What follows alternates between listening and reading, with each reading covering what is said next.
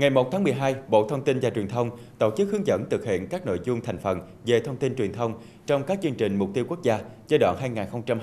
2021-2025. Tại hội nghị, các đại biểu được hướng dẫn thực hiện tiêu chí thông tin và truyền thông trong Bộ Tiêu chí Quốc gia về xã nông thôn mới và xã nông thôn mới nâng cao giai đoạn 2021-2025,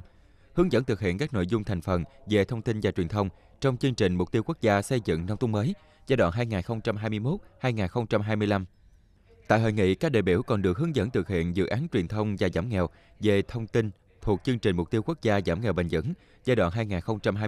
2021-2025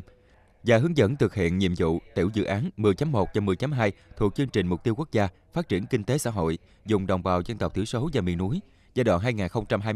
2021-2025.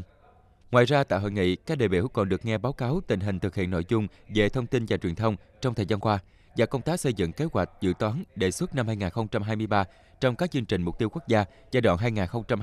2021-2025. Mục đích của hội nghị là nhằm nâng cao hiệu quả công tác thông tin truyền thông các chương trình mục tiêu quốc gia ở các địa phương trong thời gian tới. Đặc biệt, trong đó có chương trình mục tiêu quốc gia về xây dựng nông thôn mới nâng cao và chương trình mục tiêu quốc gia về phát triển kinh tế xã hội trong vùng đồng bào dân tộc thiểu số và miền núi.